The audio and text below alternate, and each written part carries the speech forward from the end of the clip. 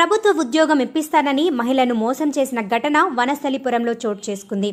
వివరాల్లోకి వెళ్తే సరూర్ నగర్కు చెందిన శ్రీవాణి వనస్థలిపురంకు చెందిన సయ్యద్ మతీన్ అహ్మద్ ఓ ప్రైవేటు ఫంక్షన్లో పరిచయం అయ్యాడు. తనను గవర్నమెంట్ స్కూల్ హెచ్ఎంగా పరిచయం చేసుకుని ఆమెకు ప్రభుత్వ ఉద్యోగం ఇప్పిస్తానని నమ్మించి ఆమె దగ్గర నుండి రెండు లక్షల రూపాయలు తీసుకున్నాడు. రెండు నెలలు ఉద్యోగం ఇప్పిస్తానని నమ్మబలికి తీరా ఆమె ఆయనను నిలదీయగా నీవెవరో నాకు తెలియదని నీ దిక్కున్న చోట చెప్పుకో అని ఆమెను బెదిరించాడు.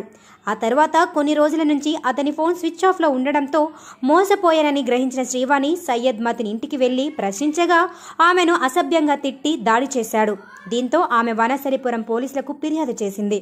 దీంతో పోలీసులు కేసు నమోదు చేసుకుని దర్యాప్తు చేస్తున్నారు సరునార్లో ఉంటాను ఆ, నాకు ఎలక్ట్ ఫంక్షన్ హాల్లో ఒక ఈవెంట్ జరిగింది ఆ ఈవెంట్ ఫంక్షన్లో మతిన్ అనేసి స్పీచ్ ఇస్తూ స్పీచ్ ఇస్తూ ఏదైనా జాబ్ అవకాశాలు కానీ ఏదైనా కావాలంటే నాకు అప్రోచ్ అవ్వండి అని చెప్పేసి ఒక కాంటాక్ట్ నెంబర్ ఇవ్వడం జరిగింది సార్.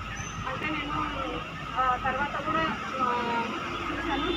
ఒకసారి చూద్దాం ఒకసారి కాల్ చేసి చూద్దాం. ఊరికే ఉన్న జాబ్ ఏదైనా ఇస్తాడేమో అని చెప్పేసి అన్న ఉద్దేశంతో నేను అతనికి కాల్ చేయడం జరిగింది. కాల్ చేస్తే తను అన్నాడు సరే అమ్మ నేను నన్ను కలుగు కలుగునరి అని అన్నాడు. ఎక్కడ కలుగుదామంటే ఎల్బీనగర్ సర్కిల్ దగ్గరికి రమ్మని అన్నాను నేను అక్కడికి వెళ్ళాను. ఎల్బీనగర్ సర్కిల్ దగ్గరికి వెళ్ళిన తర్వాత అప్పుడు తన కార్లో కూర్చొని నన్ను లోపల కూర్చోమన్నాడు. ఎందుకు సార్ చెప్పండి ఏదో విషయం అంటే కూర్చోమ్మా. నేను నా- ప్రూఫ్ కూడా నేను చూపించగలను తన ఐడి కార్డ్ చూపించాడు.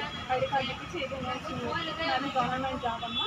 నేను ఏదో ఏదైనా జాబ్ ఇప్పిస్తాను చెప్పి నేను గవర్నమెంట్ టీచర్ పెద్ద హెడ్ మాస్టర్ నేను. నేను ఏదైనా జాబ్ అయినా ఇప్పిస్తాను నీకు అంటే సరే సరే ఏదైనా అవకాశం ఇప్పించండి అని నేను అడిగాను. అడిగితే నాకు నేను కొంత కొంత ఖర్చు అవుతుందమ్మా అని అన్నారు. అంటే ఎంత సార్ ఎంత వరకు అవుతుంది? అని ఫైవ్ లక్షల వరకు అవుతుందమ్మా? గవర్నమెంట్ జాబ్ కదా ఎంత అయినా అని అన్నారు సార్ నాకు అనేసరికి నేను అనేసరికి నేను సార్ నా వల్ల అంత అయితే కాదు సార్. ఏదో కొంచెం ఇవ్వగలుగుతానంటే ఇంత అమ్మ అంటే ఒక రెండు లక్షలు అయితే నా వల్ల అయితే సరే నేను అన్నాను. అంటే సరే అమ్మ ఇవ్వు. తర్వాత ఏదన్నా చూద్దాం తర్వాత అని చెప్పి అన్నాడు నేను రెండు లక్షలు మళ్ళీ మళ్ళీ మా తీసుకొని ఇచ్చిన సార్. తీసుకున్నాడు ఇంకా నెక్స్ట్ డే నుంచి నా కాల్ లిఫ్ట్ చేయడం మానేశాడు అసలు అసలు ఫోనే లిఫ్ట్ చేయట్లేదు ఎన్నిసార్లు ఫోన్ చేసినా. వేరే నెంబర్తో ఒకసారి ఫోన్ చేసిన. నువ్వెవరో నాకు తెలియదు ఎందుకమ్మా నాకు కాల్ చేస్తున్నావు? ఇట్లా కాల్ చేయడం మేనేజ్ కాదు అది అని చెప్పి నేను ఎవరో తెలియనట్టుగా మాట్లాడి నన్ను చాలా బాధ పెట్టాను సార్ అప్పటి నుంచి నేను కాల్ చేస్తున్నాను. నా కొత్త కొత్త నెంబర్ల నుంచి ఎన్ని నెంబర్ల నుంచి చేస్తే తన నెంబర్ అయితే ఫోన్ లిఫ్ట్ చేయడం చేయట్లేదు సార్ అసలు. చేయకపోయేసరికి నేను మా పెద్దవాళ్ళని వాళ్ళని తెలిసిన వాళ్ళని ఇట్లా కనుక్కొని ఆ నెంబర్ ఆయన ఇంటి ఇంటి అడ్రస్ కొన్ని తెలుసుకున్నాను. తెలుసుకొని ఈరోజు పొద్దున వాళ్ళ ఇంటికి వెళ్ళినాం వెళ్ళినాం. వెళ్ళేసరికి ఇంట్లో పైన ఉన్నాడు తను. బయటకు వచ్చాడు. వచ్చేసరికి నేను "ఆ, ఏంటి నా డబ్బులు తీసుకున్నాను డబ్బులు ఇవ్వట్లేదు నాకు అంత జాబ్ ఇప్పుడు అని చెప్పేసి నేను అతను గట్టిగా అడిగాను. గట్టిగా అడిగేసరికి మీరు ఎవరో నాకు తెలియదు ఎందుకు వచ్చిండు నా ఇంటికి అని చెప్పి నన్ను గట్టిగా మాట తిట్టుకుంటా బయటికి నెట్టేసిండు. నన్ను బయటికి నెట్టేసి ఆయన ఇంటికి దబా దబా వెళ్ళిపోయాడు. వెళ్ళిపోయేసరికి తనని పట్టుకోనికి మేము దగ్గరికి వెళ్ళేసరికి నన్ను చేయి చేయి బయట లాగని పట్టుకొని జారింది. జారేసరికి సరే అని చెప్పి అయినా సరే పట్టుకున్నాం అనేసరికి తను వెళ్ళిపోయాడు సార్. ఆ కార్ తీసుకొని తన కార్లో నుంచి వెళ్ళిపోయాడు సార్. ప్రభుత్వ ఇప్పిస్తున్నాడా లేదా ప్రైవేట్ అన్నాడా? ప్రభుత్వ ఉద్యోగం సార్. ఓకే. ఇది ఎన్ని రోజులు అయింది అసలు?